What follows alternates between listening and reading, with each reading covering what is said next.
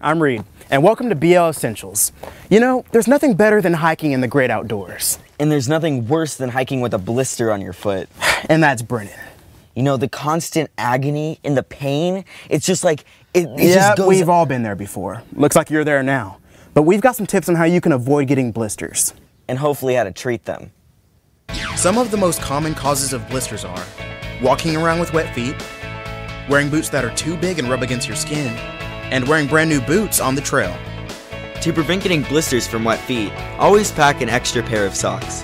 You can also pack some foot powder to keep your feet dry, not to mention smelling better. Before buying those cool new hiking boots, make sure they fit right and snug so they won't rub your feet raw on the trail. Then make sure you break them in by wearing them a while before going on that hike. But hey, even if you're a primo scout like Brennan here, at some point you're bound to get a blister. So let's talk treatment methods. Hey, did anyone bring a needle and some alcohol? Wait, what? No, this one's not ready to pop yet. Hey, a scout's always prepared, man. Make sure you or someone in your troop brings the following blister prevention or treatment items on your hike alcohol wipes, a safety pin and matches, as mentioned before, foot powder, petroleum jelly, and duct tape. You don't need to bring the whole roll, just wrap some around a pencil. A pocket knife with built in scissors, and moleskin pads. My blister started as a hot spot, a red tender spot on the skin.